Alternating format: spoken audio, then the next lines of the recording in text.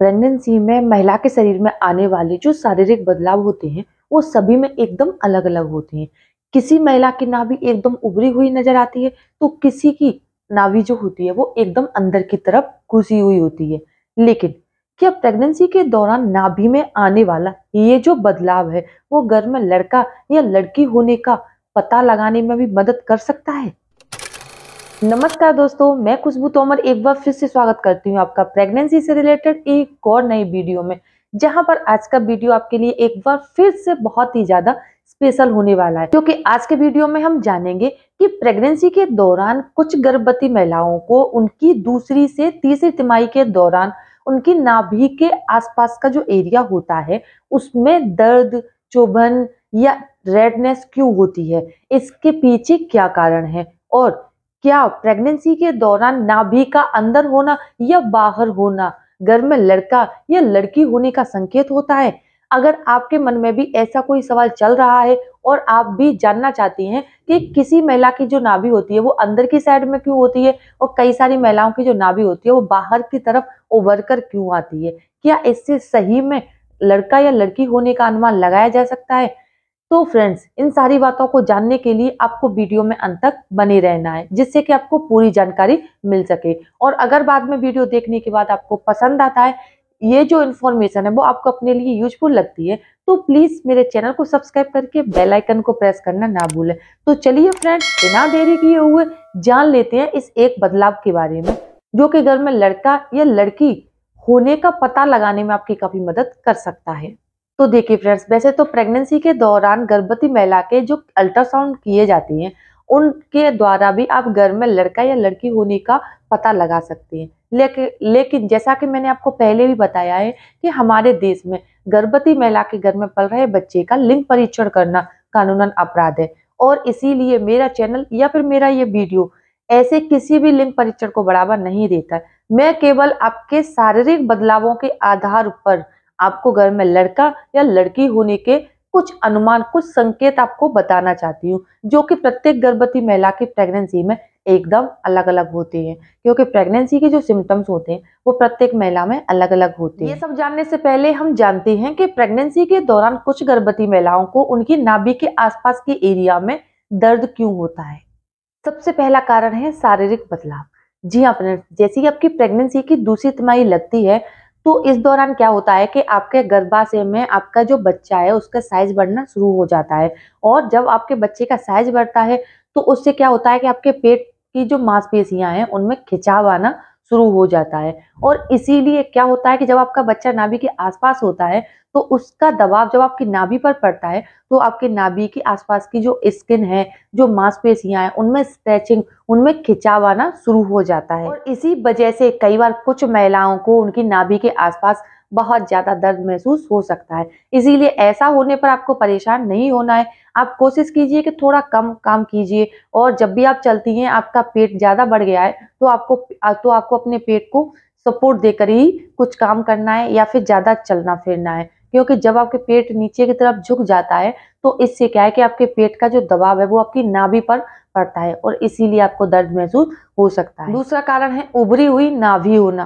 Pregnancy की दूसरी तिमाही से ही क्या है, अधिकांश 90 परसेंट महिलाओं का पेट बढ़ना शुरू हो जाता है, क्योंकि ऐसा बिल्कुल भी नहीं है कि सभी महिलाओं का पेट दूसरी तिमाही में ही बढ़े। कुछ महिलाओं का पेट उनके तीसरे महीने से ही हल्का हल्का दिखाई देने लग जाता वही कुछ महिलाओं का पेट जो है छठवें महीने से दिखना शुरू होता है। वही कई सारी महिलाएँ ऐसी भी हैं कि लगभग छह महीने तक उनका पता भी नहीं चलता है कि वो प्रेग्नेंट है या नहीं है। सातवें, आठवें महीने के दौरान ही उनका पेट बढ़ना शुरू होता है। तो देखिए फ्रेंड्स प्रेगनेंसी के दौरान जो शारीरिक बदलाव होते हैं, वो प्रत्येक महिला में एकदम अलग अलग होती हैं।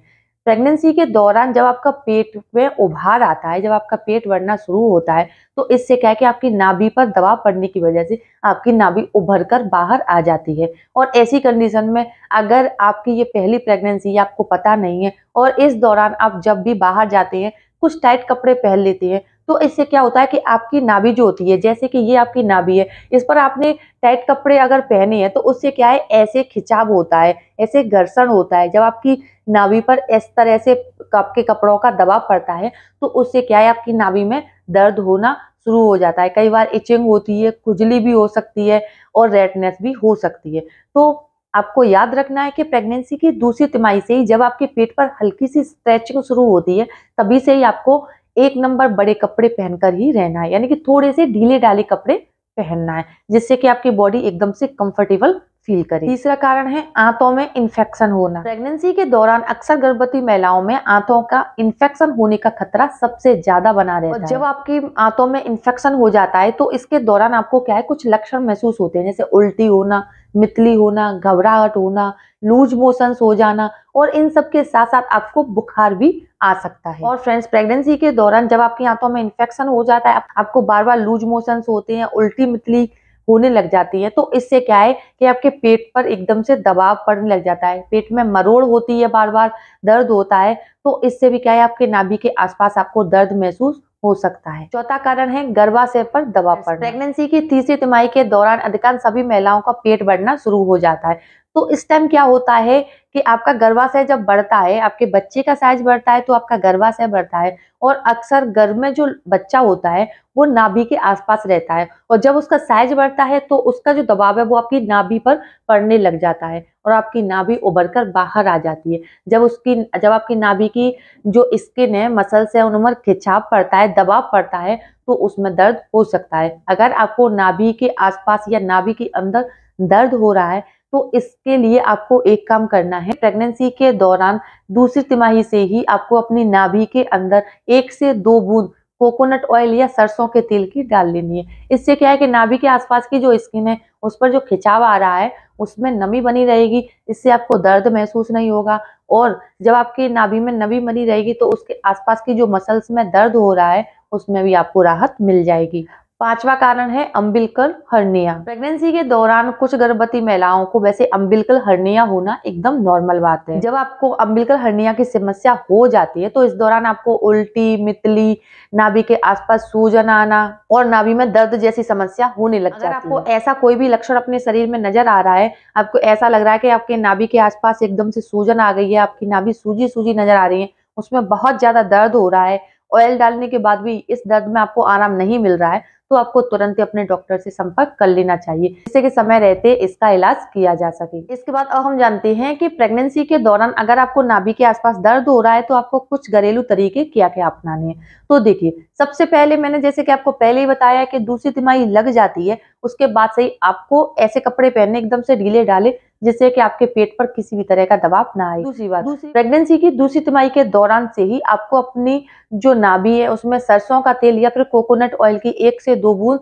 हर रोज डालनी है। और तीसरी सबसे इंपॉर्टेंट बात पेट के आसपास की जो मसल्स है स्किन में खिंचाव आता है उसमें जब दर्द आपको हो रहा है तो इसके लिए आपको क्या करना है कि दिन में दो से तीन बार आपको अपने पेट पर कोकोनट ऑयल एलोवेरा जेल सरसों का तेल या जो भी ऑयल आपको सूट करता है उस तेल की अच्छे से हल्के हल्के हाथों से मसाज करनी है।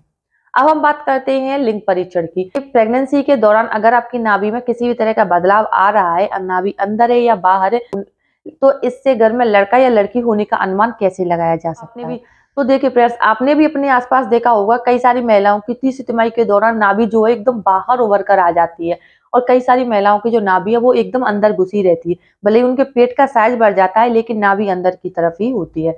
तो ऐसा माना जाता है कि जिन महिलाओं की प्रेगनेंसी की तीसरी तिमाही, यानी आठवें, नौवे महीने के दौरान नाभि उभर कर एकदम बाहर आ जाती है, यानी बेली बटन जो है वो बाहर आ जाता है। तो इसे घर में लड़का होने का सबसे सटीक लक्षण माना जाता है। और जिन महिलाओं की जो नाभि है वो अंदर की तरफ़ घुसी रहती है, कुछ इस तरह से तो इसे घर में लड़की होने का सबसे सटीक संकेत माना जाता है। प्रेगनेंसी के दौरान ऐसे कई सारे शारीरिक बदलाव आपके शरीर में आते हैं, जिन्हें अगर आप ठीक से समझ लेती हैं तो आप बिना किसी टेस्ट के, बिना किसी की मदद लिए हुए घर बैठे अपने घर में लड़का या लड़की होने का अनुमान बड़ी ही आसानी से लगा सकते हैं। उम्मीद करती हूँ वीडियो देखने के बाद प्रेगनेंसी में आपके लिए यूजफुल ज़रूर रहने वाला है। अगर वीडियो देखने के बाद आपको पसंद आता है तो प्लीज़ मेरे वीडियो को लाइक करें और अपने फ्रेंड्स और रिलेटिव्स में शेयर करना ना भूलें। साथ ही मुझे कमेंट में ज़रूर बताएँ कि आपको आज का वीडियो कैसा लगा। और ऐसी ही नई नई इन्फॉर्मेशन लेने के लिए आप मेरे चैनल को सब्सक्राइब करके बेल आइकन को प्रेस करना ना भूलें। तो चलिए फ्रेंड्स मिलते हैं ऐसी एक नई वीडियो में। तब तक के लिए खुश रहें, स्वस्थ रहें और अपनी प्रेगनेंसी को अच्छे से एंजॉय करें। धन्यवाद।